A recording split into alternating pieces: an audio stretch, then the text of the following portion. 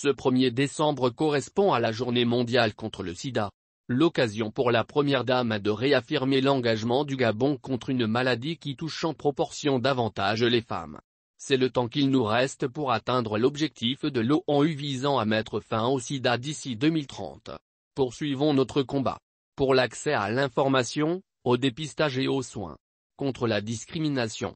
La stratégie Gabon Égalité s'y engage, a tout été ce jeudi 1er décembre Sylvia Bongo Ondimba dans la stratégie de promotion des droits de la femme et de réduction des inégalités hommes-femmes que la première dame a remis au président de la République le 30 septembre 2020. Un passage est consacré à la lutte contre le sida en particulier chez la femme.